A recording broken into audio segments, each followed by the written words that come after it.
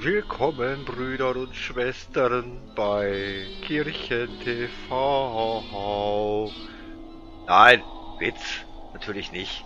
Ihr seid immer noch bei Skippinson TV. Ihr schaut immer noch The Secret World oder wieder, wieder eine neue Folge. Immer noch im gleichen Aufnahmemodus. Folge 13, glaube ich. Aber ich denke mal, es wird die letzte Folge sein. Deswegen rede ich hier gar nicht lange dran rum. Letzte Folge habe ich viel zu viel gelabert und viel zu wenig geschafft, deswegen wollen wir in dieser Folge mehr machen. So, was haben wir hier? Eine Quest, Staub zu Staub. Stauben wir mal ab. Kingsmouth ist keine Stadt ohne Verderbnis, ohne Missernten. Dieses Land hat schon schlechte Früchte hervorgebracht. Die Dämonen pflücken vergessene Äpfel, die an den Ästen des Baums von Kingsmouth verrotten sollten der in unheiliger Erde steht. Mit Äpfeln meine ich Leichen. Der Baum steht für äh, Gräber. Und unheilige Erde ist, äh, naja, unheilige Erde. Anonyme Gräber. Massengräber. Unsere erleuchteten Ahnen haben sich etwas dabei gedacht. Ganz sicher. Ich meine, wer bin ich, diese Männer anzuzweifeln? Diese Männer Gottes. Selbst wenn ihr Glaube gewankt hat. Nun, das kann uns allen passieren.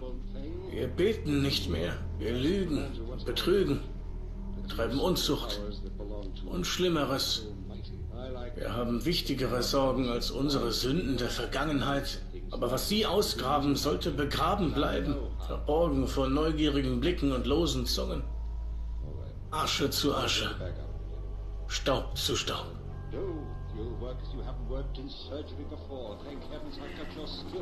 Ein anonymes Massengrab finden. Gut, dann finden wir mal ein anonymes Massengrab.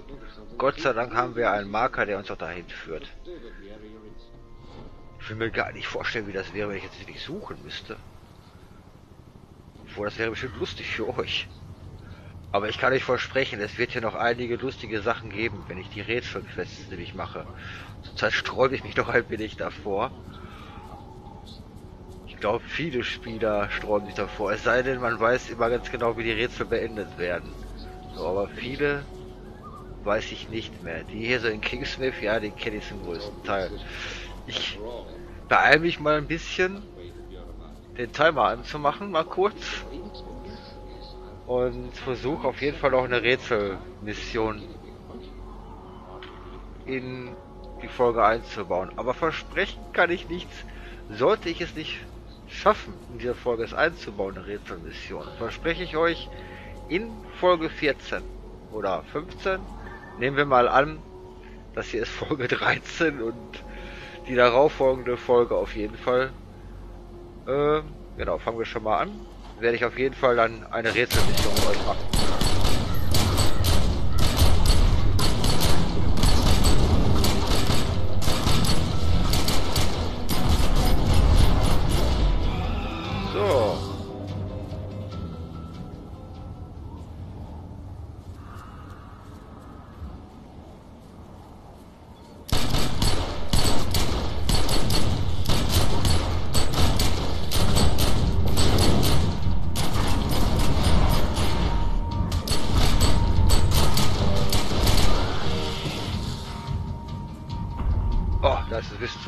Da muss ich wohl ran.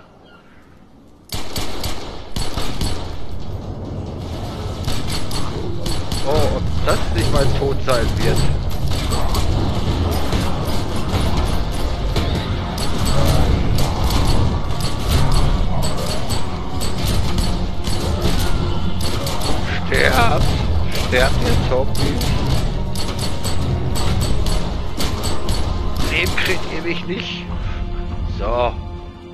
Ha, heldenmäßig. Ach, jetzt habe ich vergessen, die Shift-Taste zu drücken. Genau. Wenn ihr draufklickt, geht dann dieses Looting-Fenster auf. Oder wie der Deutsche sagen würde, das Sammelfenster öffnet sich. Wenn er aber mit Shift und Rechtsklick das Fach öffnet, oder was Shift Linksklick? Ich probiere es gleich mal aus äh, funktioniert er sofort automatisch oder er sammelt es automatisch ein.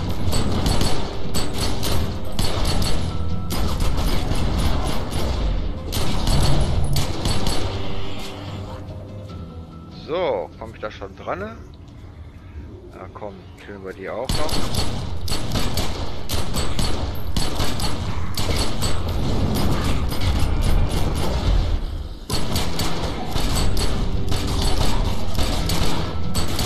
Ja, kotzt du mal rum. Hast ja auch ein Recht dazu. Lass mich in Ruhe. Das Ding einsammeln habe ich. Gut.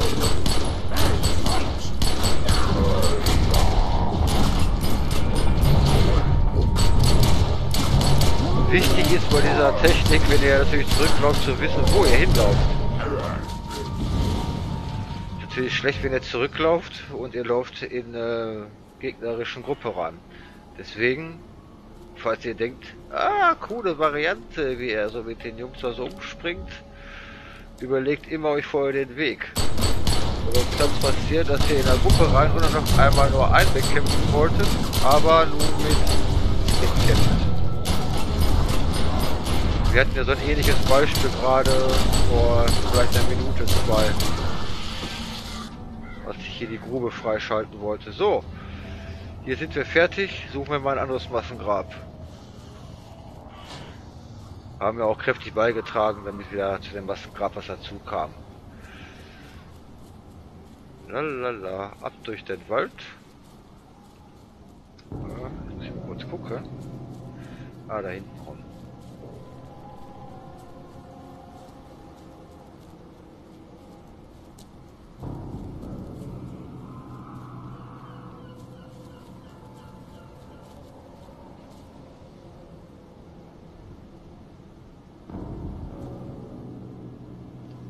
Ein Wendigo. Mhm. So. Haben wir. Und hier müssen wir dann die Bergarbeiter, die so ein bisschen angekokelt sind.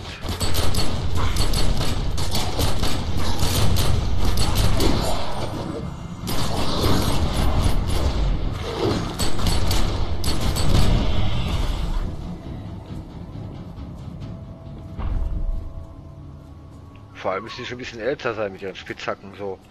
Welcher Bergarbeiter hat denn heute auch Spitzhacken? Also in der modernen Bergbauindustrie, wir reden jetzt nicht über Indien, Afrika oder so, ob selbst da sind ja die großen Firmen tätig, keiner hat eine Spitzhacke.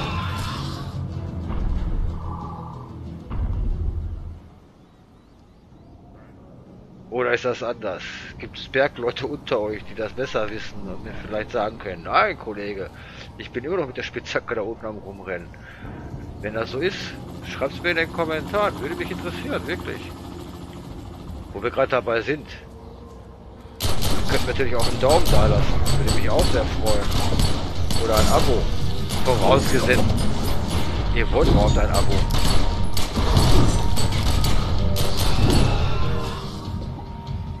Aber ich will mich trotzdem drüber freuen. Äh, wie viel brauche ich denn noch? Noch zwei. Ruhe. Ich muss mich hier konzentrieren, Kollege.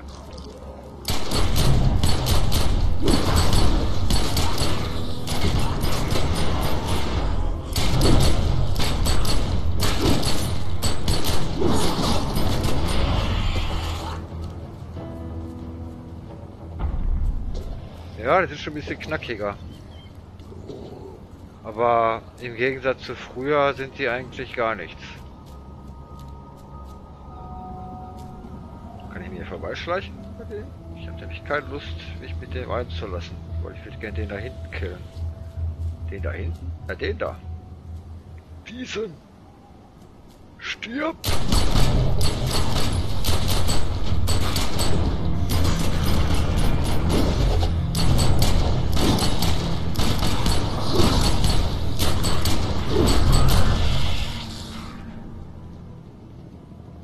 Ja, wahrscheinlich haben diese Bergmänner auch mit diesem Feuer von 1771 oder 24, ich weiß es nicht mehr.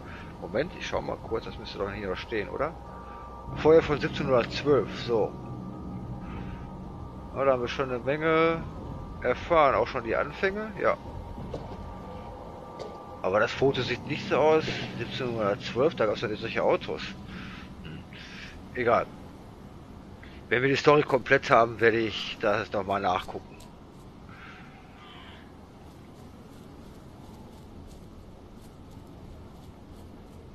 ...1712. Mann, wisst ihr noch, 1712? Das waren noch Zeiten, oder?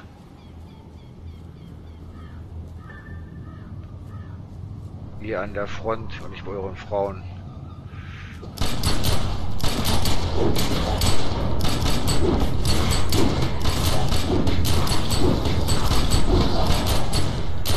Naja, aber 1712 gab es keine Sneakers. Überhaupt Bergarbeiter mit Sneakers. Ja, schauen wir doch mal. Das sind doch Sneakers, oder? Das sind doch keine Schuhe mit Stahlkappe. Die sehen doch irgendwie anders aus.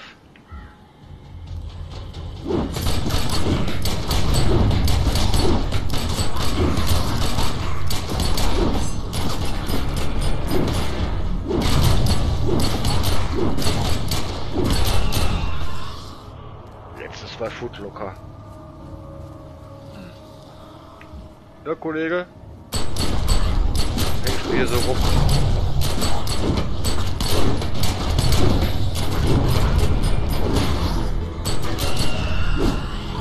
Oh, ein Geschenk, da freue ich mich mal drüber.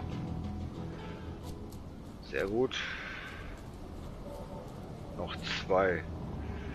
Ah, ich weiß nicht, wenn ich den Kollege da, den da anschieße, dann könnten die mir wieder ankommen. Wäre mir dann zu stressig. Schauen wir mal, hier müssen wir noch da. Guck mal, da ist noch einer. Komm mal her, Kollege.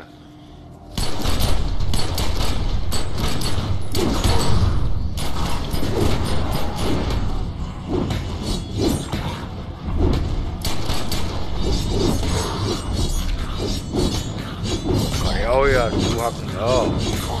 Wer tut am meisten? Ich wahrscheinlich nicht, wa? so, einen brauchen wir noch. Und du bist der Auserwählte.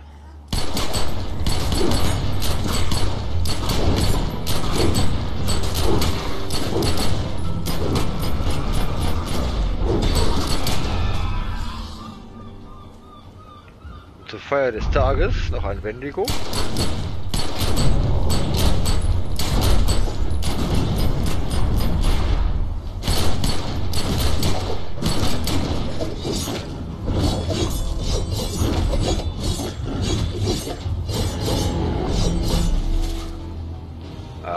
Frech ein Kollege. So. Der nächste Spaß ist einen halben Kilometer, über einen halben Kilometer weiter. Südöstlich.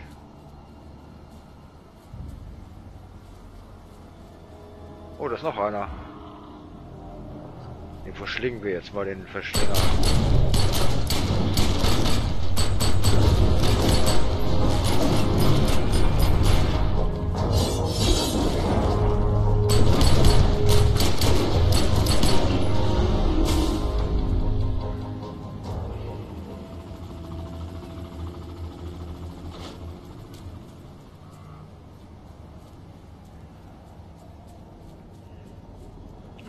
Glaube mit der Rätselfolge oder mit der Rätselquest in dieser Folge wird wohl nichts. Das wird dann wohl in der Folge 14 sein. Wahrscheinlich dann der Kingsmith Code. Also die das Rätsel noch nicht gelöst haben, der Kingsmith Code, werden dann wahrscheinlich sich in der nächsten Folge erfreuen darüber dürfen, endlich vielleicht die Lösung zu erfahren. Gut, sie hätten natürlich auch bei irgendwelchen diversen Seiten nachgucken können, was sie wahrscheinlich auch die meisten tun. Ich habe das alles noch von damals gelernt, praktisch, da gab es diese Seiten ja noch gar nicht. Ich bin praktisch seit der Beta bei Secret World dabei, habe zwar zwei Jahre Pause gemacht, habe aber wirklich, wirklich seit der Beta spiele ich dieses Spiel.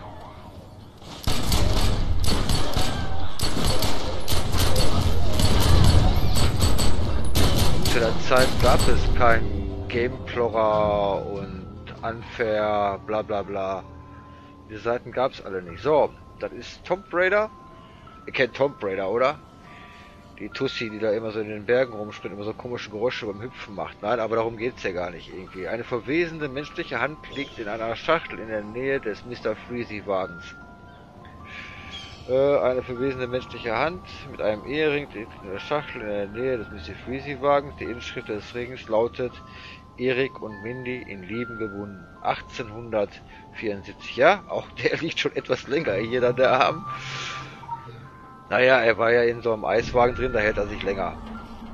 Eric and Mindy Bound by Love. Gut. Diesen Ring können wir gleich mitnehmen. Auf dem Rückweg sozusagen zum, zur Kirche. Äh, wo wollte ich eigentlich jetzt hin? Nein, ich wollte noch nicht zum Friedhof gehen. Ich muss hier irgendwas erledigen. Da hinten. Ja, stimmt doch. Ich sagt mir aber auch nichts. Immer muss ich alles hier selber machen. Da müssen wir noch drüber reden, das geht so nicht.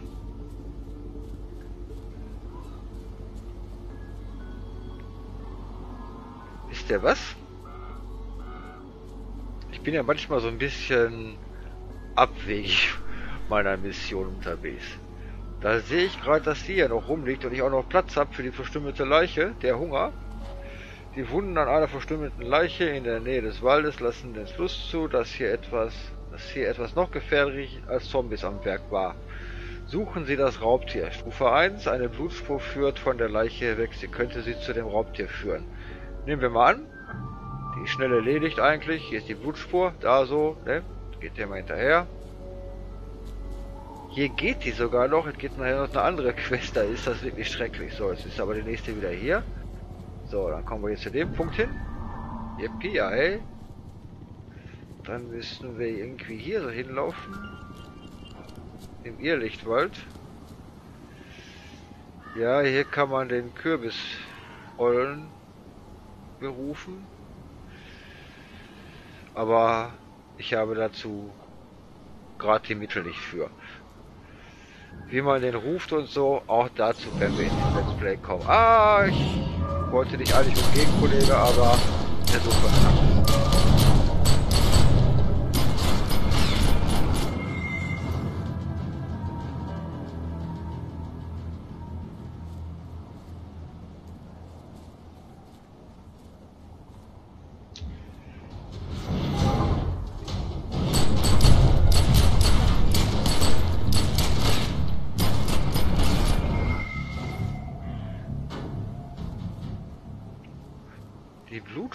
Habe ich die Blutspur verloren. Die geht dann hierher, dann ist sie hier, dann läuft sie hier rüber. Da lang, hier vorbei. Den muss ich wahrscheinlich umlegen.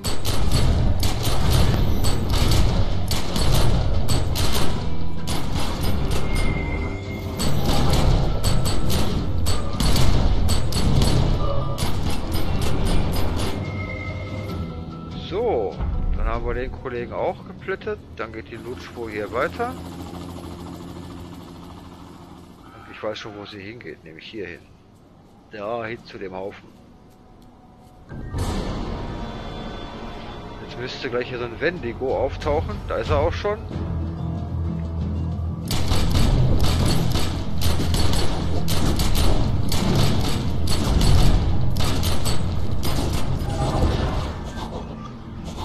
Rennt er da oben hin. Dann laufe ich da auch hin. Da ist er wieder.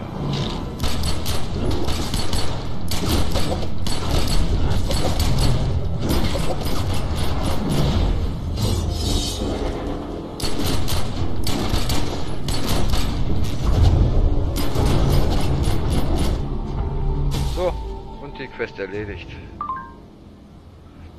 Mal kurz so zwischendurch, nebenbei, locker flockig. So vor der Hand geschüttelt sozusagen. Äh, du kannst aber jetzt ein bisschen laufen. Da, da, da.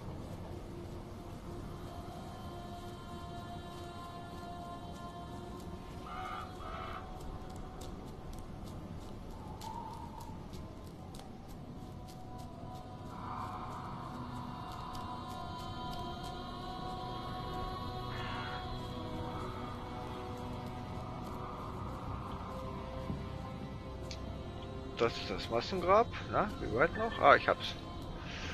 Und jetzt muss ich die Kultisten töten. Die Kultisten sind die netten Jungs da, die da. Komm schon, komm mal den Berg hier hoch, Kollege.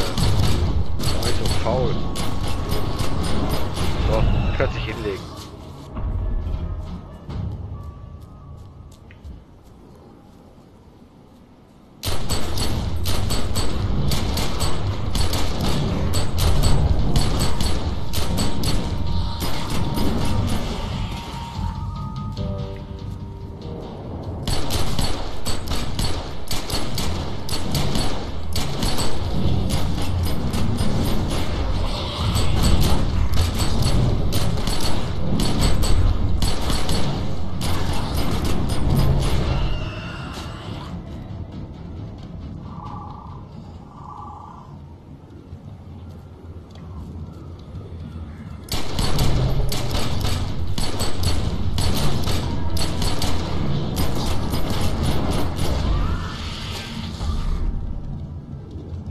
Fünfte Massengrab finden.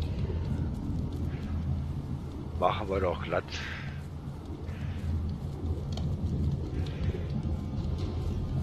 Ja, irgendeiner will was von mir, der da.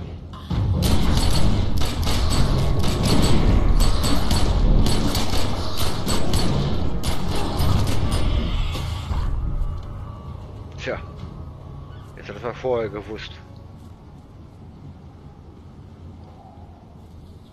Ist das denn da?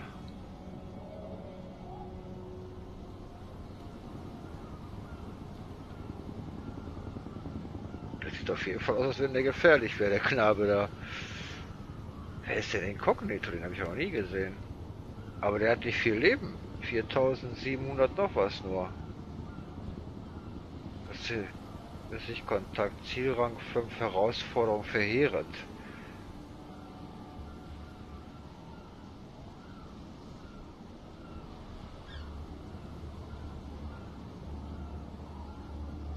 Ziel kann von einem Einzelagenten neutralisiert werden, aber er wird mir angezeigt als super krasser Motherfucker. Äh, ich weiß nicht. Er ist ein krasser Typ. Das ist ein Grabstein, da bin ich ja gern dran. Ich will an den Grabstein. Komm schon. Dixie Bull muss sterben. Am Strand befindet sich ein offenes Grab. Die verblichene Inschrift auf dem Grabstein lautet, der gefürchtete Pirat fand auf dieser Insel im Jahre 1632 sein Ende. Ob schon vielleicht Balladen über seinen illuminierten Untergang gesungen werden. Oh, ich glaube, ich nehme jetzt einfach mal an und ich kann die gar nicht annehmen, weil ich jetzt gerade angegriffen werde. Okay.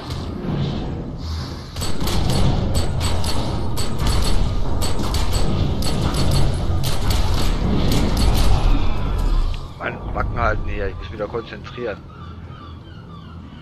Ähm, ich nehme die einfach mal an. Vorlesen kann ich ja später mal irgendwann. So. Der ist ja witzig, der Kollege.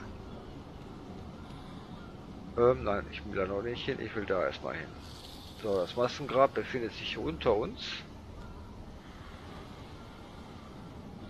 Also ich finde den echt klasse, den, Kna Knaben.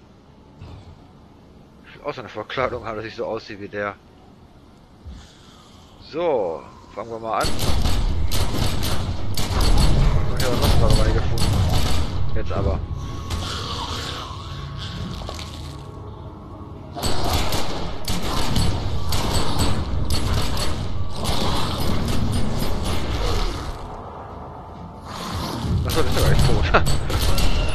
so, jetzt aber.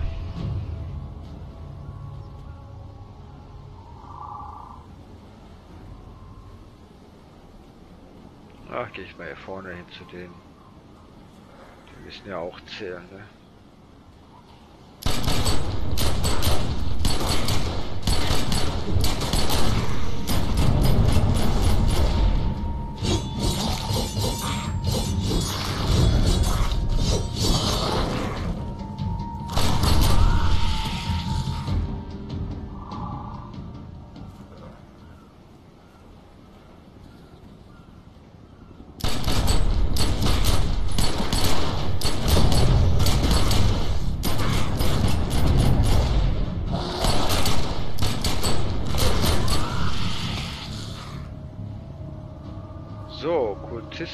Waren die doch dann jetzt auch Krieger. Ah, das sind Kultisten. So, wie viele? Sechs Stück davon. Ah, die kommen jetzt immer zwei Attacken. Genau.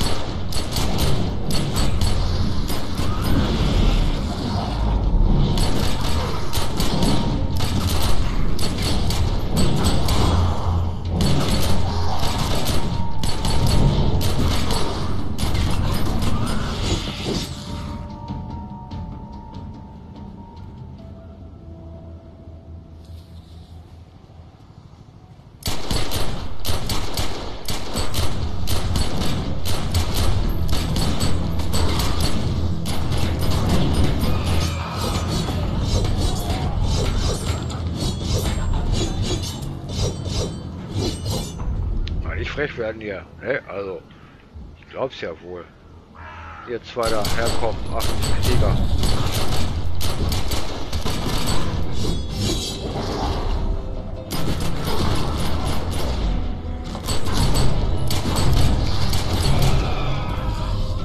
Du bist auch ein Krieger? Du bist auch ein Krieger. Wohl interessant. Da hinten sind noch welche.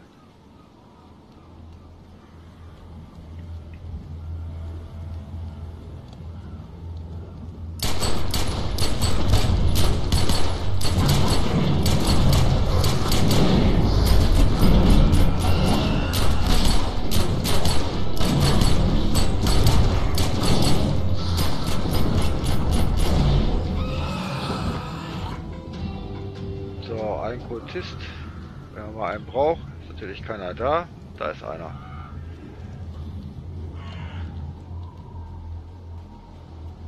Kommen wir da ran? Hier rüber.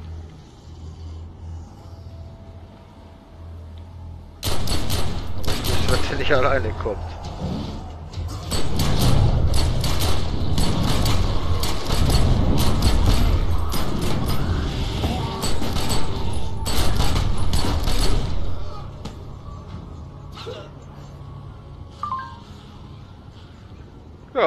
Haben wir die Quest auch geschafft.